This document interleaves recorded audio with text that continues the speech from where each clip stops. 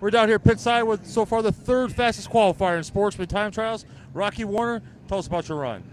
Yeah, we were off by a little bit. We were kind of free, but we I was worried about being tight. You know, the slick stuff, you get too tight and shove the nose, and it actually makes it worse. So uh, we left a little too free, but we're gonna make some adjustments. Hopefully for the heats later on, we can get it going a little better.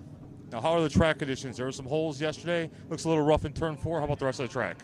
Uh, the rest of the track's not bad. It's super slick. Uh, it's kind of narrow coming out of two. It's going to be interesting, you know, to get all the cars on there. A little dusty, so the guys in the back are going to be a little uh, behind the eight ball. So I'm glad we kind of got a decent run. This is our best we've ever time trialed in a, in a sportsman. So um, we're super stoked about that. We're off the pace of what Dave is, but we got some adjustments to get it better.